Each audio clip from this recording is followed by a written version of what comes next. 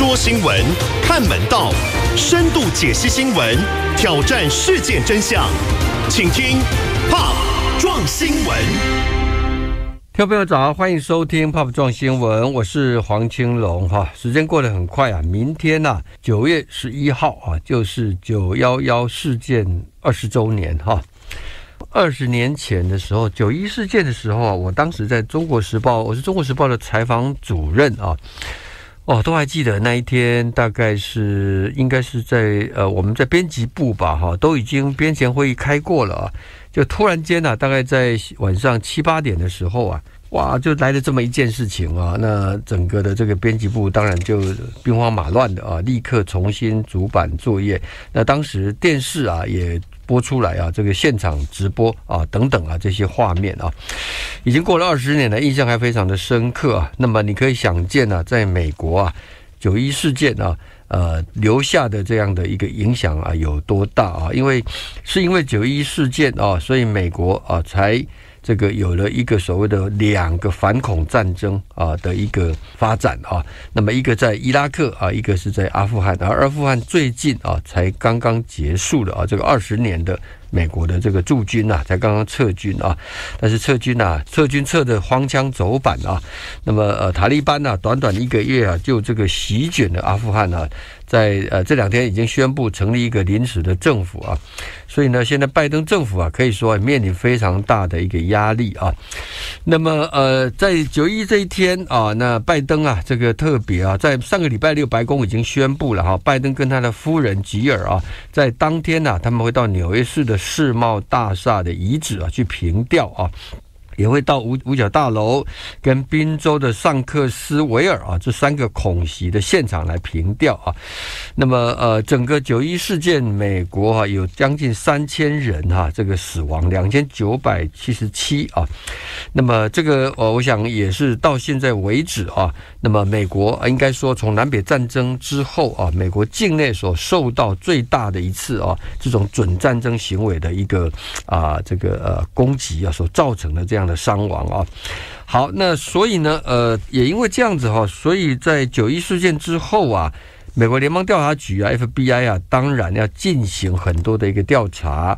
那么我们刚刚讲到说啊，当时的小布希啊出兵阿富汗，主要就是因为啊，发现到说发动对啊美国进行九一恐怖攻击的啊是盖达组织，而这个啊窝藏啊这个盖达组织啊，就是当时的。阿富汗执政的塔利班啊，就是神学士了哈，所以他才进行报复嘛哈，呃，这是我们都知道的一个情况哈。可是事实上啊、FBI 对九一的一个调查哈，还有更多的一些内容啊，而这些内容到现在为止啊，都还被列为这个机密啊，是不能公布的啊。你比如说啊，其中啊有一个很重要的叫做沙地阿拉伯啊，跟九一一恐怖攻击啊组织啊之间呢、到底存在什么样的一个关系啊？那么这个原因是因为啊，这个宾拉登哈、宾拉登本人呐、其实他是从沙地阿拉伯，他是逊尼派的这一支啊，他根本就是沙地阿拉伯的贵族啊的一个背景啊。那么呃，所以呢，呃，据说 FBI 的调查当中啊，那么有掌握到啊这一些文件啊，来证明啊，沙地啊，至少不能说政府，至少有相关的人哈、他们其实是背后在支持啊这个盖达组织啊，也就是支持贝拉登啊。那么呃，所以呢，呃，也因为这样子哦，所以有非常多的九一遇害的美国人呐、他们的家属啊，都不断的要求联邦政府应该要公布哦，这个更多的有关沙地阿拉伯呢，是不是有在资助背后资助恐怖攻击啊这个情况啊。的一些情报啊，但是这对美国政府来讲就非常非常的尴尬啊，因为我们知道美国的中东政策哈、其实它是以这个呃以色列跟沙特阿拉伯作为两根主要的一个支柱啊。我们看到前总统川普啊，他任内第一次出访啊，就到哪里？就到沙特阿拉伯去啊。那么呃，因此呢，这个呃，我们看到在二零一九年的时候啊，当时啊，川普政府的司法部长巴尔啊，他向联邦法院就发表一个声明啊，说为了保护国家安全啊，九幺幺相关文件要继续保密啊。这个当然反映的是当时川普政府的一个中东政策，他可能怕这个公布了之后啊，对沙特阿拉伯啊的跟美国的盟邦啊之间的关系啊会有所冲击啊。可是现在啊，拜登哈，拜登上任了以后，我们看得到他跟沙特阿拉伯的关系啊，至少跟川普时代已经有所不同啊。而且呢，呃，拜登可能更强调啊，这种所谓的对人权的价值啊。所以呢，现在拜登已经下令要解密啊，九幺幺事件一部分的调查文件啊，那么这个就会啊，可能会带来一些新的变化啊，这个呃，值得关注啊。好，那么另外啊，九幺幺二十年哈，那么英国监察组织有一篇啊分析报告啊，说从两千零一年的九月十一号啊，这个恐怖攻击以来啊，那么美国哈进行啊，因为呃这个美国纽约嘛哈，Twin Tower 啊被攻击了以后啊。美国就发动了这个呃反击啊，这个反击当然最重要的是两个啊，这个啊现战争的现场，我们刚前面讲到的哈，一个是伊拉克，一个是阿富汗啊。而二十年来呢，美军总共发动了超过九万次的空袭啊，或者无人机的一个呃攻击啊，推算啊，造成了至少两万两千名的平民死亡哈，甚至有可能会多达四点八万人啊。呃，这个数字公布啊，我想他要再提醒了一点，就是说没有做九一啊，日美国本身啊，造成了两千啊九百多人啊的死亡啊。那么，但是呢，美国啊，从九一之后所发动的反恐战争啊，可能造成的是两万两千人到四万八千人的国外的啊这个平民的一个死亡啊。这个包括叙利亚、包括伊拉克、阿富汗、也门、索马利亚。巴基斯坦跟利比亚啊等等啊这一些啊恐怖组织了哈，也包括 ISIS 哈。那么这是呃英国的一份报告啊，英国这个报告啊也提到说啊，这当中啊二零零三年那一年哈可能是最惨的，因为。那那一年，美国空袭所造成啊平民伤亡哈的人数啊，大概至少有五千多人啊死亡哈。当然，那一年也就是美国所谓的入侵阿伊拉克啊的一个呃时间的哈。那另外一个很重要的造成平民死亡最多的是二零一七年啊。那么啊，这是呃是在联军对伊拉克跟叙利亚的轰炸啊当中，大概至少有五千啊这个平民死亡啊。好，这个是呃我们看到的有关九幺幺的一些相关的一个啊事例啊，因为刚好已经二十周年啊，借这个机会让听众朋友有所了解啊。好，另外啊，在美国啊，最近会非常轰动的一件事情啊，就是有一个 s i r i n o s 啊验血公司啊，这个听众朋友，如果你有注意到啊。这个创办人是一个非常美丽的哈佛大学的辍学生啊，叫做啊伊丽莎白 Hom Hom Homers 啊，伊丽莎白荷姆斯啊，那现在呢面临了好几项的这个啊罪证的一个控诉啊，即将要开庭了哈，这个可能会变成接下来啊美国啊啊社会美国媒体啊非常关注的一个焦点啊，呃，其实，在六年以前哈，这个啊伊丽莎白的 Homers 哈。还被公认啊是戏骨高科技界的下一个这个啊超级巨星啊，那么包括一些商业杂志啊都争相报道，称说他是一个传奇人物啊，那么也形容哈这个说他是最年轻的白手起家的亿万富翁啊，那么举一个例子啊，当时啊前总统克林顿啊曾在访在问到这个有关呃跟这个伊丽莎白·赫姆斯啊在谈话啊问到有关科技方面的时候啊。语气当中啊，也透露着敬意啊，对他的敬意啊。而当时的美国副总统拜登呢，也称啊，说伊丽莎白·赫姆斯的创建充满启发性。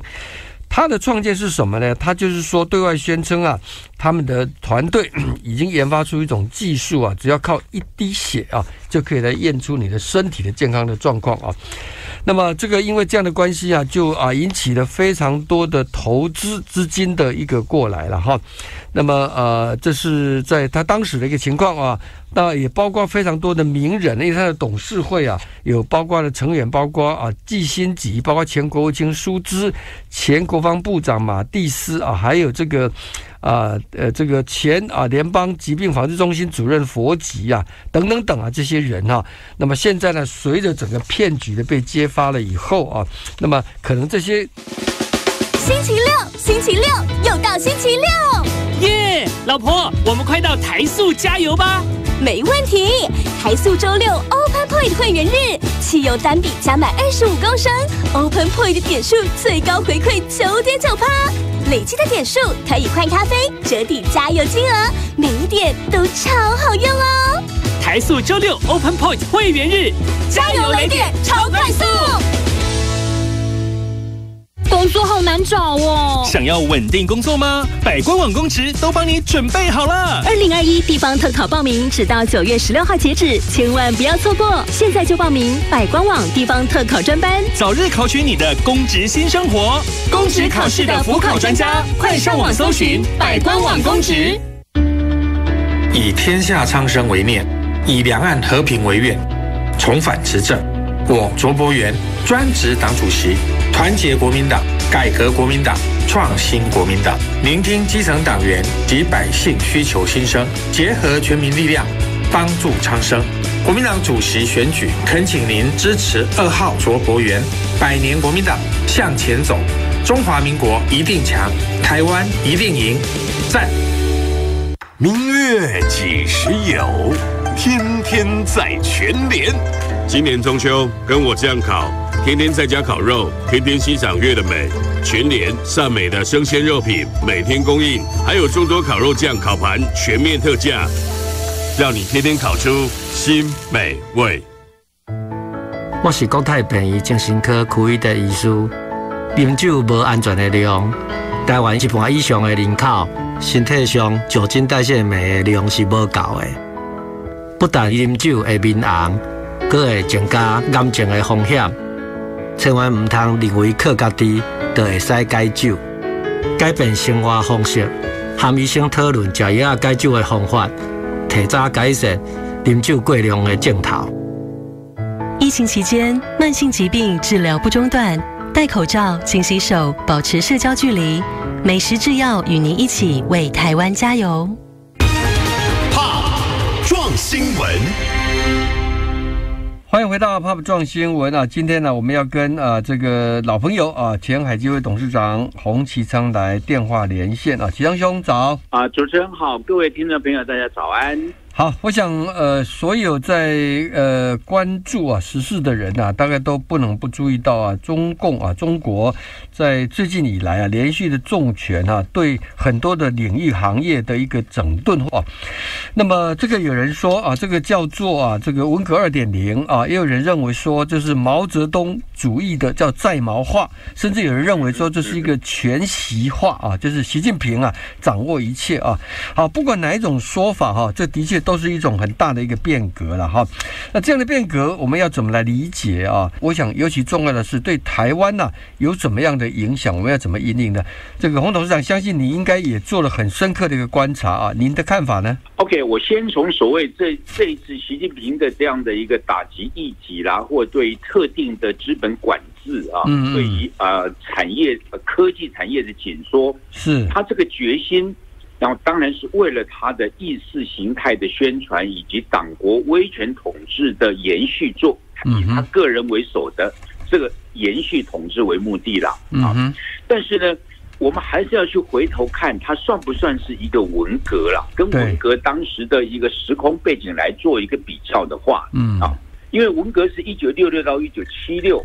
当时汪大兵是在中共政权的三反五反大跃进以及中苏交恶的情况之下，嗯，那他的政经形势是积弱的，嗯，当时中国占全世界五分之一的人口，嗯，但是它的经济总量仅占全世界的百分之三上下而已，嗯，而另一方面就国内方面来看，反毛的势力强大，毛泽东的权力。是一个在不稳定的状况之下，嗯。因此他借着发动文化大革命来铲除刘少奇为首的反对三面红旗的路线。嗯。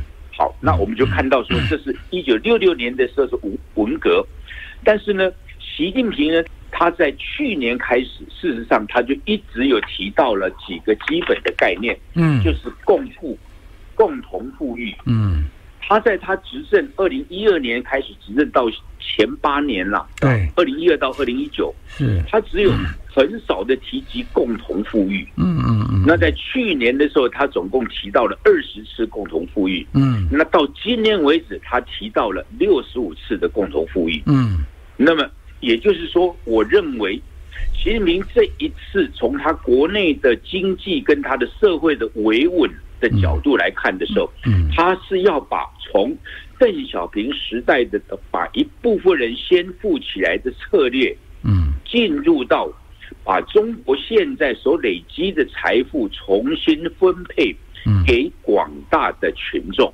嗯嗯嗯嗯啊，所以共同富裕也是从毛泽东提出来的。嗯。但是呢，继任者的邓小平把重点放在提升中国经济跟生产力的这个 dimension 上，嗯。那因此就造成了很大的社会贫富的差距了啊。嗯嗯嗯，那我们可能大家都还记得，去年中国总理李克强。曾经提到，嗯不要忘了我们有六亿人，嗯超过四成的人口收入只有一千元人民币。对，那一千人民币的意义是什么？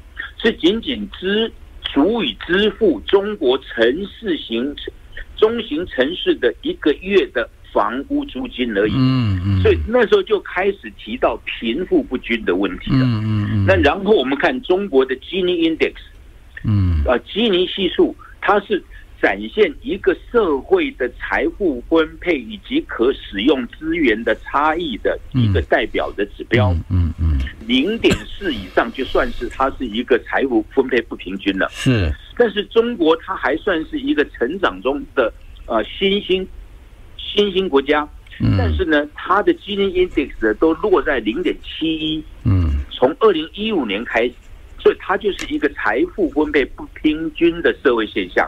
嗯。所以这一次习近平的共同富裕，嗯。或者是说他对于特定产业的这些的打击啊嗯，打击这些啊，像譬如说从那个那个王健林啦，嗯然后从那个马化腾啦，从嗯。马云爸爸，对，从他们这些人，他就是他打击这些人主要的目的就是要把所谓的巨富嗯。社会的巨富，嗯。而且拥有类似国家才能够拥有的资讯富可敌国的哈，嗯对嗯国家可有的资讯资源以及金融的体系，嗯。像譬如蚂蚁金服、嗯。这一类足以挑战政共产党政府统治的嗯。这些人，嗯。他就是必须要把它做一个是。啊好啊，这个齐长兄，齐长兄，我我了解，但这里头哈，我有一个一个一个问题，回回过头来跟您请教啊。我们知道你刚提到这样的，其实简单说了哈，如果说毛泽东的时代哈，它是一个重分配啊，而这个以分配为主哈，成长增长为次啊的一个概念嘛哈。嗯那么到了邓小平啊，他是以增长为主。啊，分配为次啊，就是说先让一部分人富起来哈。那现在习近平似乎又要回到了一个分配为主啊的一个概念啊。好，可是有个问题就是说啊，这个分配为主啊，会不会影响到增长？这是一个大的一个悬疑哈、而且呢，啊有人认为说，他这一次的分配啊，更像是因为中国的经济啊已经后继乏力啊，所以他就做了一个不是增量分配，是一个存量分配。没错，存量分配就是以现在既有的总量我来做调配，但这表明说它接下来的经济可能真的会盛极而衰哦，因为你有如果是这样子的话呢，它原来成长动能的引擎啊，比如说。其实中国经济到二零一零年已经可以看得出来，它的高峰期啊，原来那套模式已经过了啊。对，过去这十年还能够维持成长，刚好就是它的虚拟经济的蓬勃发展。对，没错。哎，这是这一次打击的重点啊，说要回到实体经济啊。这当中的非常吊诡是说，还能够呃，既要维持他所谓的社会公平，当然社会上很多人对于因为仇富，所以对于共同富裕打击这个啊这个企业大头啊，应该说还是暗中较好的了哈。可是会不会因为这样子让企业界的投资放缓，让企业界的积极性降低，让民企啊等等还有外资的信心，结果造成了整个的经济增长的动能不见的，不见了之后，会让他这一波希望。达到了共富，不见得能够做成。这张维颖说，不小心就会变成共贫，那就是回到毛泽东时代。没错，你觉得这样有没有这样的顾虑？有没有道理？OK，我同意这样的观察了。嗯，因为在这一次里头，这样的一个呃，从近年来啦，国进民退的呼声当中，就可以先看到一个端倪了。嗯，啊，他就是把国营企业大量的弄大，然后国进民退。嗯，那。同时呢，他也在把他的党国的机器放入到私人企业的里面嘛。对对，好，黄金持股啊，一趴就可以决定董事会。嗯，对，没错没错。那就是说，他这个时候就已经建立起一个一个产业，或者是说呃社会资本是必须要是为党服务啊。嗯，好，那这个是一个啊他这几年来的做法。那因此这个做法呢，他势必会打击到投资的信心呐。嗯。尤其是外商的投资的信心是，同时呢，他这一次对于科技产业啊，对于这些所谓比较是属于虚拟经济的虚拟经济的打击呢，也会抑制了中国的产业创新的能量。嗯嗯，好，所以这个对中国大陆的经济的发展来讲，可能所造成的一些负面的影响，还是需要。做观察了，嗯嗯，譬如说，我们说看中国的虚拟经济，嗯，它事实上它的金融，它的 fintech，对，啊，它的 fintech 这十年多的时间里面，它在全世界它算是 fintech 发展的最好的，是。那它现在呢，把这个把马虎金一呃啊，把蚂蚁金服，蚂蚁金蚂蚁金服，对，把这些东西你你就是强迫他们要做一些监线，像马化云啊，嗯，马化马化腾，马化腾未来的。四年内，他要捐一千亿。对，啊他透过所谓的第三次分配。对，因为第三次分配呢，是相对于第一次分配跟第二次分配的定义是不同的。嗯，啊，他成了第三次分配嘛。嗯，那第一次分配是那个邓小平时代的，透过市场的实现收入的成长。对，然后来达到分配的效果。对，那第二次分配呢，是透过政府的调税收，哎，税收对，税收的调节来进行分配。是，那他说第三次分配是个人出于自愿。嗯。事实上，这根本不是出于这不是自愿的，这个根本是等于是强迫的嘛。嗯，对对。而且而且，我觉得哈，这一波的这个呃企业争相的去表态啊，捐款啊，这里头有一个很荒谬的现象，比如说我看到除了他们捐的五百亿、一千亿的之外啊，像拼多多的那个创办人黄峥哈，他甚至承诺说啊，未来一年呢，拼多多的净利啊，十五亿美元呢，全部都要捐出来啊。哎，对。这公司治理不见的，那你对投资方、对股东你怎么去交代啊？对不对？你被而且他拼多多在美国上市啊，所以这个很多美国的股东要配合你去做中国政府的公益啊，这个是什么道理啊？对，我觉得这个基本上是违反了市场的法法则了。对啊，然后也违反了事实上公司的治理了。但是公司治理当然也有 C。CSR 了啊，对呀，对呀，对呀，不太谈 CSR，对，或是 ESG 了。那 ESG 不，这个他这个跟 ESG 也离得太远的啦。嗯，对 对对。然后他这样的做法，事实上是以这一个名目上说是为了共富，对，为了第三次的分配是，而事实上呢，是也在打击他政治上的一些异己的。嗯嗯嗯。因为我们知道中国的这些巨富们，是他一定程度的跟跟党。对内的这种所谓的呃红二代派系啦、家族啦，哈，都有关系，都有关联的。是是是，所以他基本上还是在用这样的一个做法来清掉一些可能对他来讲是未来长期统治不利的这些因素，把它弄掉。嗯啊，所以我回到前面来说。文革是邓小平啊，是毛泽东在他权力不稳固的时候，透过一个啊社会运动、群众动员的方式，对，来把反对他的路线的人，嗯，尤其刘少奇为首，把他铲除，然后建立自己的政权的巩固性。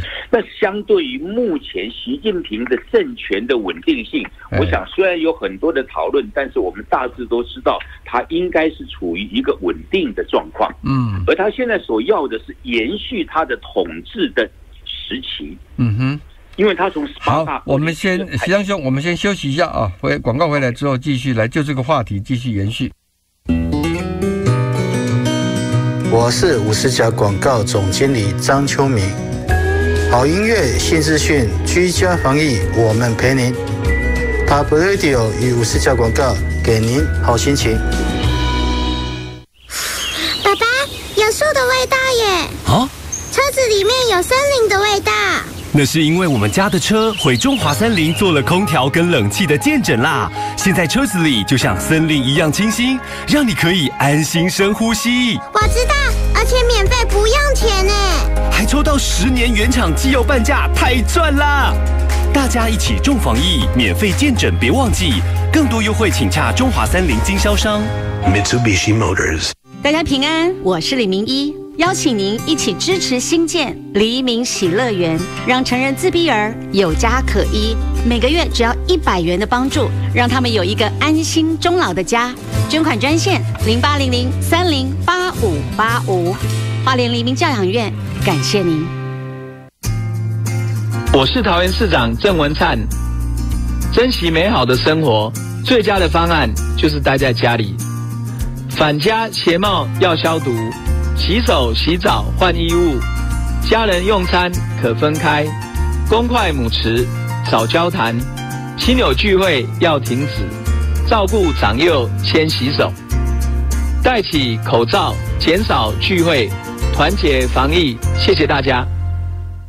哎，小姐结账，那个八八八八八条码帮我扫一下。呃呃，不方便加好友哦。不是加好友啦，我要捐电子发票。哦，对，八八八八八是儿童癌症基金会的专属爱心码。爱心码不只能在实体店面使用，网购结账前也别忘了输入八八八八八五个八哦。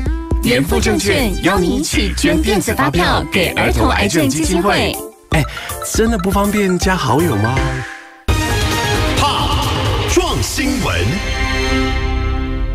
好，欢迎回到 Pop 撞新闻。我们今天跟前海基会董事长洪其昌啊，蒋兄刚谈到说哈、这个今习相比啊，习近平跟这个毛泽东啊，在文革的这个内外环境当中，其实还是不一样的，对不对？所以你基本上认为没有那么大的可比性了哈。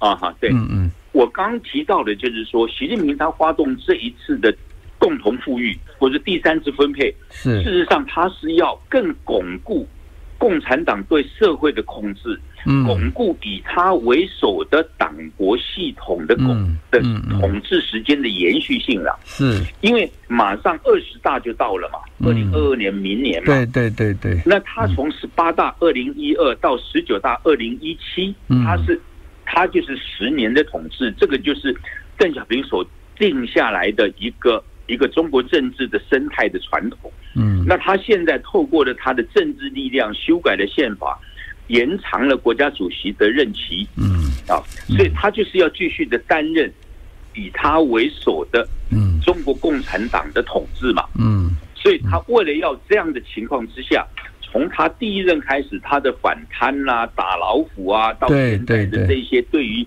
舆论的控制啊，嗯。然后对于一些所谓左倾的意识形态啊，嗯。因为他觉得虚拟经济某一个程度上是一个代表西方的价值啊，嗯嗯啊，那包括游戏啦、games 啦，嗯，还有娱乐业啊，娱乐业的一些事，影视啦，嗯嗯。啊，甚至呢，他也对补教、补习教育，事实上，补习教育他会觉得说，这个这个大家都往一个国外去学习，嗯嗯。啊，他他某个程度，我想未来会对于中国的年轻人往国外去学习会有一定的一个限制，也说不定。嗯嗯嗯，那你现在连一些影视嗯。那朋友们，他们也都要说我是中国人，哎，对，放弃外国籍啊，还要放弃外国籍，对嗯，还要放弃外国籍，对。所以基本上从这样子来看，它是主要是要某个程度啦。如果我们要说的话，它某个程度有一点要像跟美国为首的西方社会价值哎。decoupling 了，哦。就是切割了。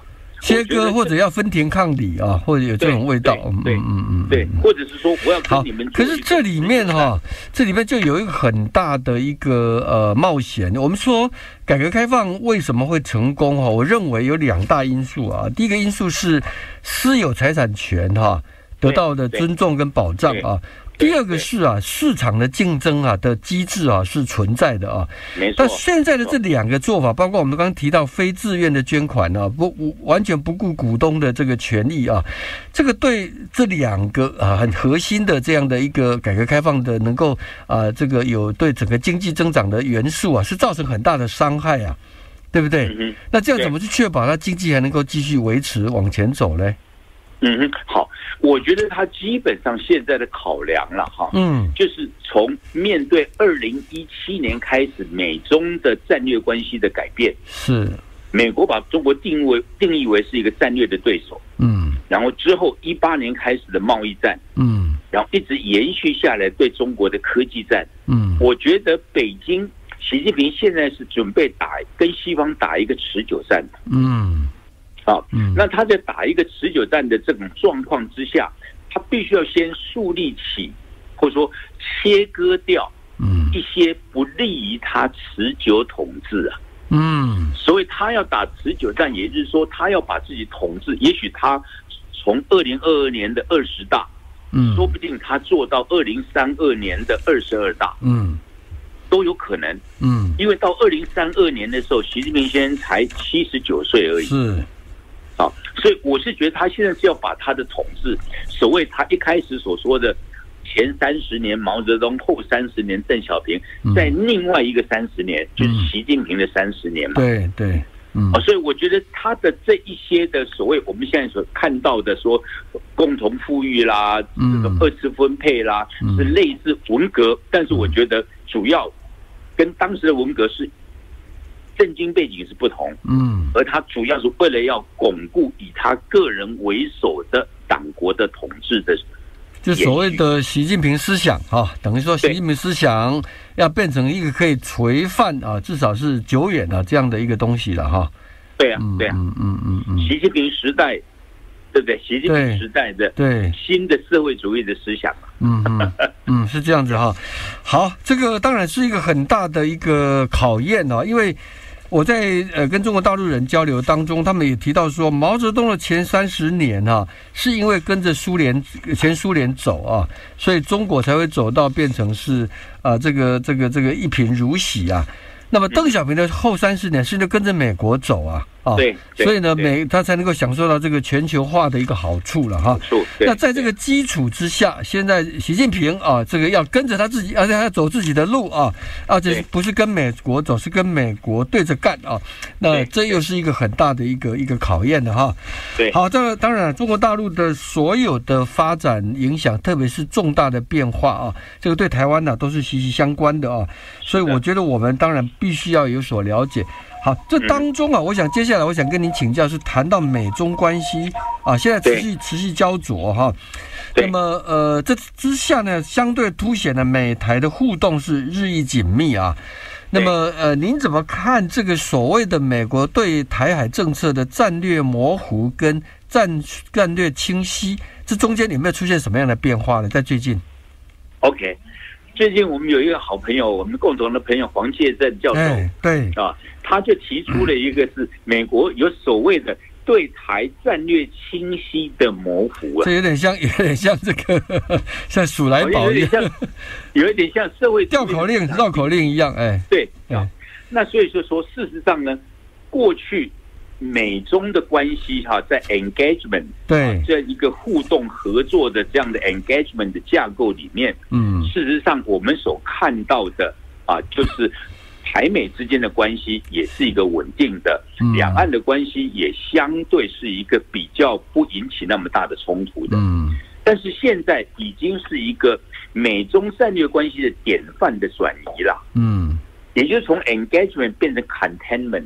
所以现在变成是一个，它是美国设定中国是它的战略竞争对手，对，所以是一个对立的。然后美国又联合拜登上来之后，又联合他的这些盟友们来围堵，嗯，啊，所以我们可以看得到，美中的战略关系是已经产生了一个根本性的改变。是是。那从这样子来谈两岸关系，嗯，我想我常常提到的，两岸关系已经不是单纯的北京跟台北的两岸关系了，嗯嗯，它是在美中战略架构下的两岸关系。嗯，好，那么这当中就要来看了。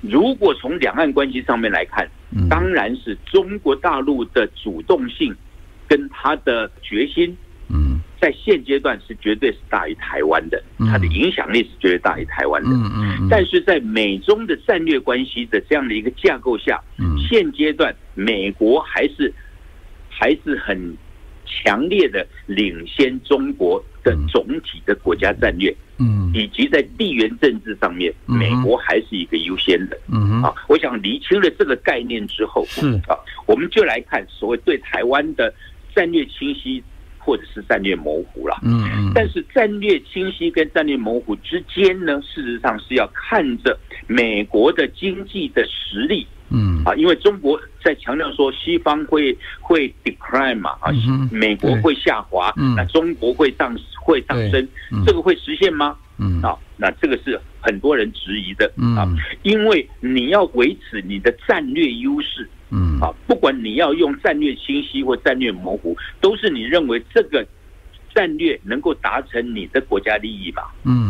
啊，那所以现阶段，如果美国继续维持它的一个经济的优势，同时美国的整个国防战力，以及它在外交上跟的跟它的门邦的结合，嗯，都站在稳定的状况之下的话，嗯，我觉得在美台的关系的上面，不管是战略清晰，或是战略模糊，或者是战略清晰的模糊，嗯，啊，这个状况下，我是觉得。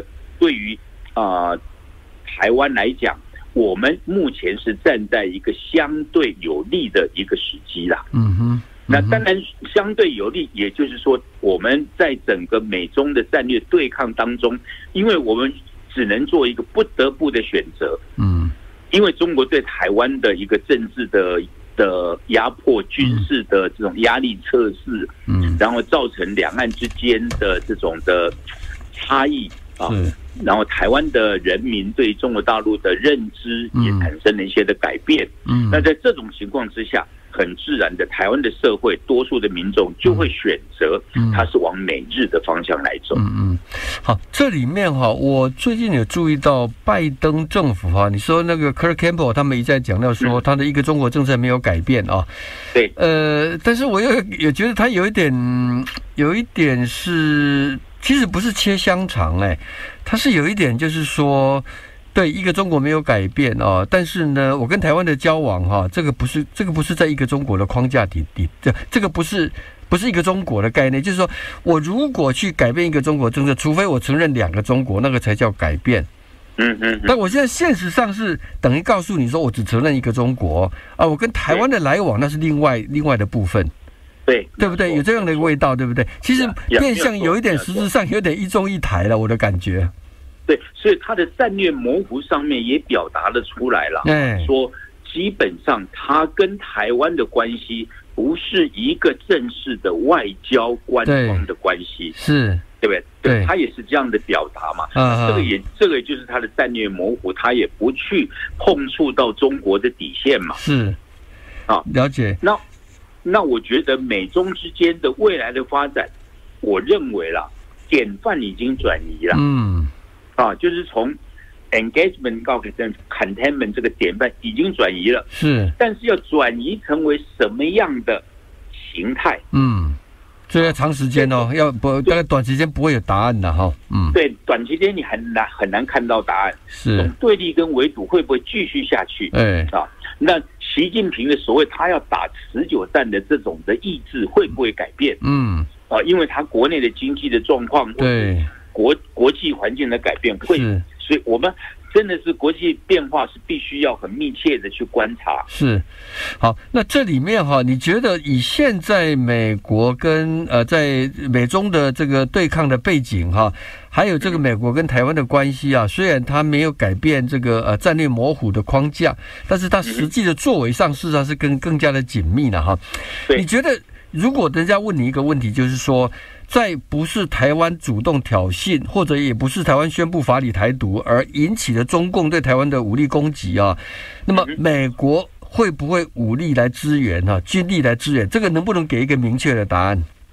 我觉得这个问题是很难回答的啦。嗯啊，嗯，就是说美国对于。对于中共如果对台湾采取军事行动的时候，嗯，到底美国的决心？不，我还有区别情况啊，就是说这个不是台湾去挑衅的，不是，当然不是台湾主动引起的，对对对，台湾挑衅所造成的。这个时候，美国的决心是会有多大？嗯啊嗯，然后他这个他愿意为这个决心付出多多多少的代价？是。他的意志力有多强？对啊，因为对中国来讲，台湾是他的核心利益。是。那虽然西太平洋的和平与安全也是美国国家的最高的关切。是。啊，但是这算不算是他的核心利益？不过美国美国是一个民主政体哈，所以民意美国民意也很重要，对不对？最近他们不是有个调查哈？呃，已经出现了一些变化了哦。没错。但是这个变化就是过去呢，你从 Duke University 所做的，是，就是你所看到的都是百分之二十左右的人认为应该应该出兵，对，那么就应该出兵。但是现在呢，Chicago 的那一个研究发现说，百分之五十二、五十三的美国人民认为应该出兵，是是，对不对？对，这个是一个民意的决定，对对。但是呢，民意它只。有的时候民意也不能够反映出来，这就是一个国家必须要走的政策。明白，因为这时候你要看到军人，mini military sector，军人这个部分上他们的想法是如何？是，还有 American politics，是在华府，对，在纽约。的这些具有影响力的美国精英们，对没错想法是如何？是，所以当然名义上面是产生了一些的变化。对，没有错。但是还是要看到。简单说了，简单说，美国再怎么样对台湾好啊，台湾得先自己啊，把自己防卫好啊，这个才有力能力再谈其他了哈。好，我们先休息一下，回来之后继续跟啊洪吉章董事长呃来访谈。Coffee Tea。Or 庄园吉，庄园吉，Yes，全家发明可类新推出尼尔吉利蓝山庄园吉红茶奶茶，严选来自印度第二大茶产区庄园吉红茶茶叶。嗯，红茶余韵带有乌龙茶手果香，奶茶浓醇圆润，甜而不腻。现在购买发明可类尼尔吉利蓝山庄园吉茶系列，任选两件只要四十九元，最爱喝的在全家。台湾大车队五五六八八企业签单，挺您安心出门。企业乘车选择台湾大车队五五六八八，免单据，支付快，节省报账时间，免现金，降低接触传染风险。全台还有超过七千台空气清净车，现在储值最高享七趴车资回馈。立即上网搜寻台湾大车队企业签单，您的安全与安心，台湾大车队五五六八八最关心。嗨，我是 DJ 丹尼。我喜欢用音乐带给人们温暖，做自己喜欢的事，生活处处都会回甘哦。休息一下，喝口茶里王，回甘就像现泡茶里王。心甘情愿把喜欢的事做到最好。Pub Radio 关心您，喝口茶里王犒赏自己，回甘就像现泡茶里王。吃饭的时候，我总是要跟妈妈还有姐姐合吃一个便当，可是我总是假装吃饱了，因为我跟姐姐吃完，妈妈就没得吃了。还好有各位叔叔阿姨的帮忙，让我们珊珊不再饿肚子。现在只要捐款五百元，就能帮助小朋友拥有一个月的营养餐费。红星智慧爱心捐款专线：零二二三七零九一九一二三七零九一九一。闻。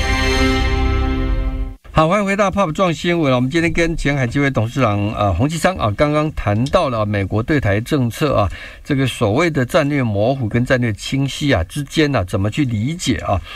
呃，另外一个问题，我想跟其昌兄来谈，就两岸哈，现在两岸官方的中断啊，从二零一六年民进党二度执政了之后啊，基本上哈，呃，几乎已经五年多了哈，都没有能够恢复啊。那这一次啊，从去年出了疫情了之后啊，现在两岸民间交流，大基本上也等于是停止了哈。我觉得民间交流停滞哦的对两岸关系的影响啊，可能会慢慢产生。你你会不会就感觉到说，这里头可能有一些我们还不知道的影响已经在发生了？因为从从改革从从两从开矿探亲以来哈，其实两岸的这个民间的往来啊。我们这个模式哈，刚好跟呃这个东西德的情况是不一样的啊。东西德是政府之间呢，先这个有一个谅解啊，它民间反而没有。台湾是台湾大陆跟台湾是不一样的，所以我认为民间的交流本来很重要，因为我们有很长一段时间，官方事实上是没有办法有共识的，但是是靠民间的密切的往来。对对。但现在已经快两年了，两岸民间交流现在我感觉已经呃停滞很久，一定会产生一些影响啊。啊，我同意啊，青龙兄的观察，因为两岸的关系，事实上从一九八七年蒋经国总统他当时让老兵返乡，事实上整个两岸的互动是来自民间，对，啊，是来自人民跟人民之间的互访啊、旅游啊，啊，更重要的是两岸的投资。所带动的经贸的紧密关系是是是啊，所以等于就是说民间跟社会先行，政府在后面。是到一九九二九三的时候，我们才有海海基海陆的设立嘛。是是，然后就有孤汪的会谈嘛。对对对对。好，那我现在要提到一个，就是因为刚举行过的，就是海基会，因为现在大家对它可能也许觉得说它已经不是那么重要，但是我仍然认为海基会是一个非常重要的一个现阶段两岸。如果在疫情之后要重启两岸的联系的时候，它是一个非常重要的的机制了哈。那现在呢，海基会的代理主席是徐胜雄，他是一个杰出而且有社会责任的企业家。对，他在九月三号开他们的董监事联席会的时候，他提到了一个很清楚的，就是说未来两岸在疫情舒缓之下。对，一定会逐步恢复交流。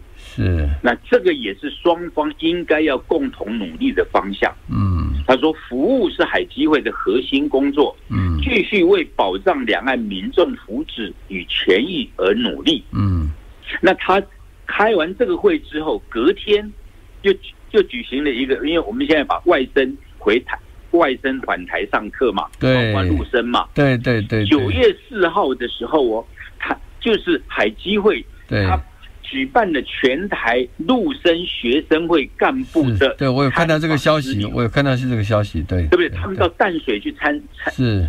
参访，也就是海基会，他现在又扮演了一个服务的角色，嗯。服务谁？服务在台的陆生，呃，陆生，对甚至未来会更多一点的资源来服务这些相关的陆配，嗯哼，啊。然后呢，海基会的副董事长兼秘书长詹志宏，嗯嗯，那熟悉的朋友就知道，詹仲先生是在两岸的关系上面、政策上面是长期跟着蔡英文总统的，是，啊，他过去还担任总统府的啊办公室主任，对，他现在是海基会的秘书长，对，他怎么说呢？他说我们随时都愿意提供服务的管道给这些。陆生，嗯，同时这一次的居中协调陆生疫苗登记接种的事宜，嗯，也是海基会主动，嗯嗯嗯嗯嗯，啊，所以我是觉得在现阶段来讲啊，台湾政府透过一个民间授权的机构海基会是。有在做准备。嗯，后疫情时代如何的重启两岸的交流？是，我想，我想这这点很重要啊，因为呃，如果两边的政治关系啊没有办法解决啊。那民间交流又中断的话呢，我会觉得说，这对两岸，因为毕竟啊，我们地理位置啊，这是不可以没有办法区别的哈。这对两岸来说的话，会造成一个很不利的一个影响，可能会有更多的一些不了解或者误解啊。对，那这些情况会发生哈。好，这个很可惜，时间已经到了。我今天本来要请这个洪董事长啊来评论一下这个国民党啊四位候选人电视政见辩辩论会 有关两岸的部分呢。最后三十秒，你有什么样的看法吗？我是觉得了哈，嗯，如果像一现在的网络民调所产生的说第一名是张亚中的话，是是，那么就表示国民党的内部的这种集统的势力啊啊，因为他是公然的主张就是要签订和平协议嘛，是啊。然后，这个如果是这样的话，那我觉得这个对中对对中国国民党的发展来讲是不太不太好的了啊。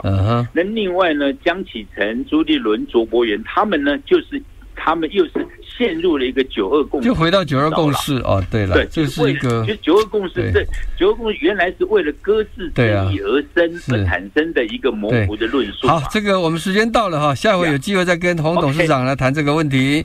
谢谢洪其昌董事长。